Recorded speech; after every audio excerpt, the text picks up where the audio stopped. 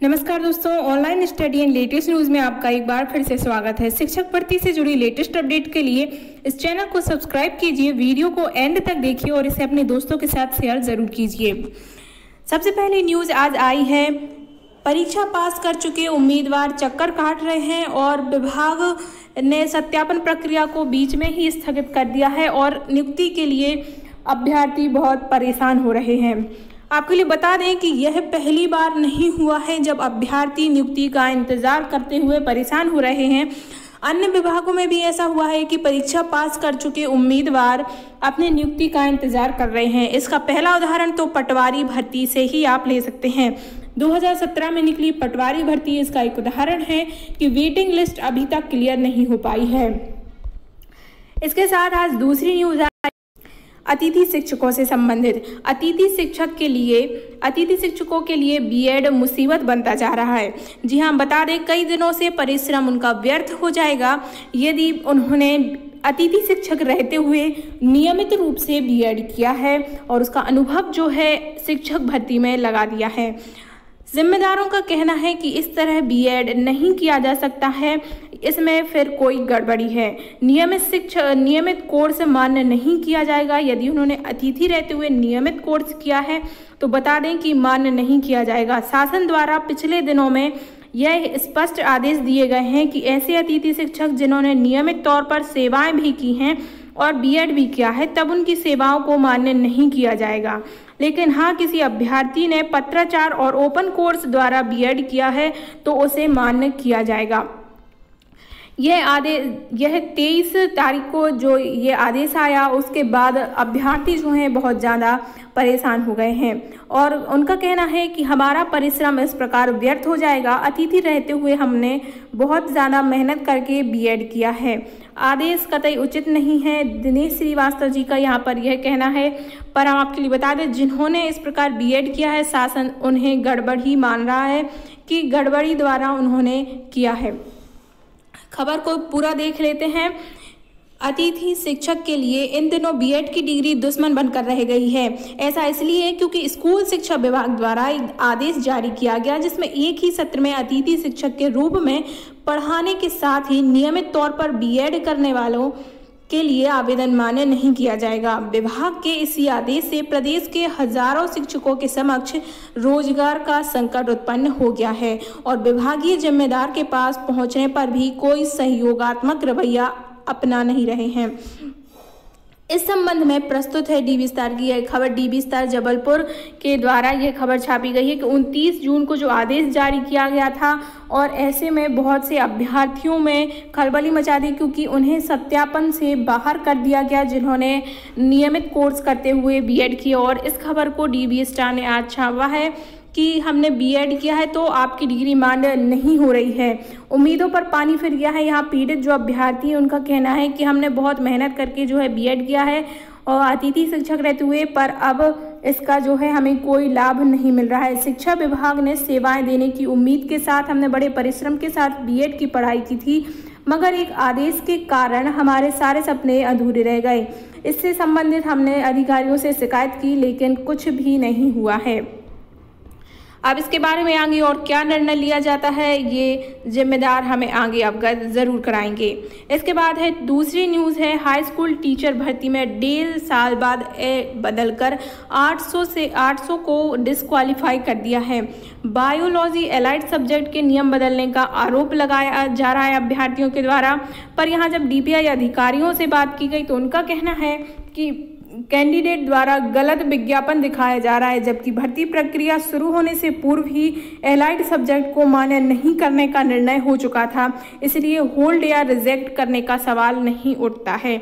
अभ्यर्थी कह रहे हैं कि जो है, इस इस प्रकार का कोई विज्ञापन नहीं था कि एलाइड सब्जेक्ट वालों को मान्य नहीं किया जाएगा, पर अधिकारियों का कह रहा है कि जब विज्ञापन निकला था, तभी यह स्पष्ट कर दिया गया था कि एलाइड सब्जेक्ट मान्य नहीं किए जाएँगे।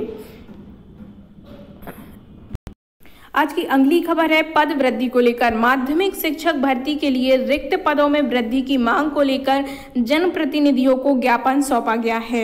यह दैनिक पृथ्वी लहर भोपाल की न्यूज़ है।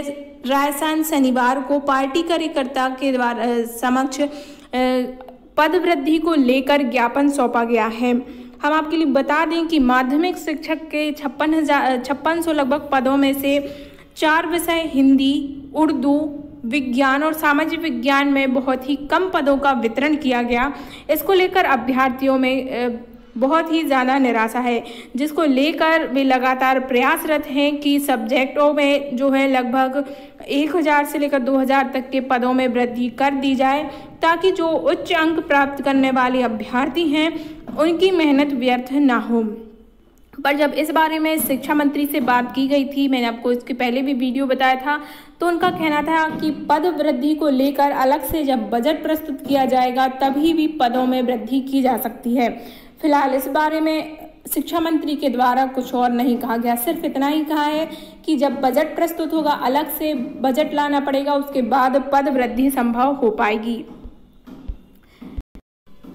आज की लास्ट खबर है कि पद साइंस टीचर का है और भर्ती इंजीनियरिंग करने वालों की की जा रही है।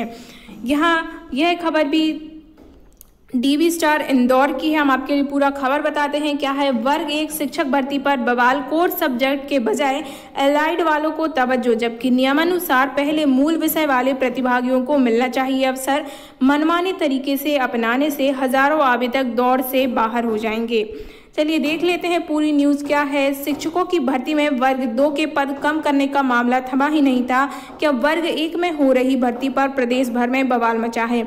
दरअसल नियमानुसार कोर सब्जेक्ट वाले प्रतिभागियों को प्राथमिकता दी जानी चाहिए, लेकिन उनकी उपेक्षा कर अलाइड विषय वालों को मेरिट के आधार पर रखा जा रहा है। यानी ऐसा हो सकता है कि जो पद विज्ञान पढ़ाने वाले शिक्षक के लिए है, उन पर बीई की डिग्री वाले इंजीनियर को भी नियुक्त किया जा सकता है।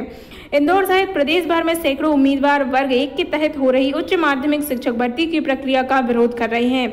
आरोप है कि पात्रता की शर्तें पूरी नहीं करने के बावजूद अलाइड विषय वालों को नौकरी देने की तैयारी की जा रही है, जिससे मूल विषय के क्वालिफाइड उम्मीदवारों का हक छिन जाएगा।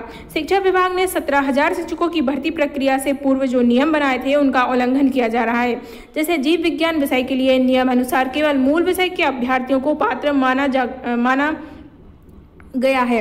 28 अगस्त 2018 को जारी हुए शासन के आदेश की कंडिका एक दशमलव एक में लिखा है कि मूल विषय वाले ही पात्र माने जाएँगे, लेकिन मेरिट लिस्ट में आए कई उम्मीदवार निर्धारित योग्यता नहीं रखते, यानी वे तकनीकी शिक्षा वाले हैं। लेकिन मेरिट में ऊपर होने के कारण उन्हें विज्ञान जैसे विषयों में प्राथमिकता दी जा रही है। ऐसे में सवाल उठ रहा है कि नियम विरोध यानी तकनीकी शिक्षा वाले प्रतिभागियों की नियुक्ति विज्ञान शिक्षक के रूप में कर दी तो वह हायर सेकेंडरी विद्यार्थियों को कैसे पढ़ा पाएगा? इसी तरह अन्य विषयों को भी लेकर भी विसंगतियाँ सामने आ रही हैं, जो मूल विषय के उत्तीर्ण आवेदक के अधिकारियों का, अधिकारों का हनन है, जबकि छत्तीसगढ़ और उत्तर प्रदेश में हाल ही में शिक्षकों की भर्ती की गई, जिसमें मूल विषय के अभ्यर्थियों को पात्र माना गया है, अलाइड विषय के अभ्यर्थियों को अपात्र माना गया है, जहाँ मूल विषय वाले ये प्रयास कर रहे हैं कि सिर्फ़ मूल विषय को ही प्राथमिकता दी जाए, वैसे ही विज्ञान जीव विज्ञान, बायो, बायोलॉजी के कुछ अलाइड सब्जेक्ट हैं, जो लगातार प्रयास कर रहे हैं कि उन्हें मान्यता दी जाए। हमारे हक पर डाका छात्रों का भी नुकसान हो रहा है। आरती राठौर, संगीता बिश्नोई, इस प्रकार अन्य युवाओं का कहना है कि हम लोगों ने बड़ी मुश्किल से वर्ग एक के लिए क्वालिफाई किया और विषय विशेषज्ञ की दक्षता रखते हैं। शासन के नियमों पर से परे जाकर अब हमारी जगह दूसरे विषय वालों को रखा जा रहा है। इससे हमारे हक पर तो डाका डाला ही जा रहा है, साथ ही विद्यार्थियों को भी नुकसान होगा, क्योंकि हायर सेकेंडरी में विषयवार शिक्षक ही सही तरीके से पढ़ा सकता है। अभ्यर्थियों का कहना है कि पात्रता की शर्तें पूरी करने वाले योग्य उम्मीदवारों को ही चयन प्रक्रिया में शामिल किया जाना चाहिए। अन्य प्रतिभागियों को सत्यापन के दौरान बाहर होल्ड किया जाना चाहिए ताकि मूल विषय के क्वालिफाइड के अधिकारों की रक्षा हो। कई अतिथि शिक्षक भी अलाइड हैं, लेकिन योग्य उम्मीदवार नहीं मिलने से बिना बीएड के भी कार्य कर रहे हैं। इसका मतलब यह तो नहीं है कि भर्ती में बिना बीएड वाले प्रतिभागी लेना अनुचित है।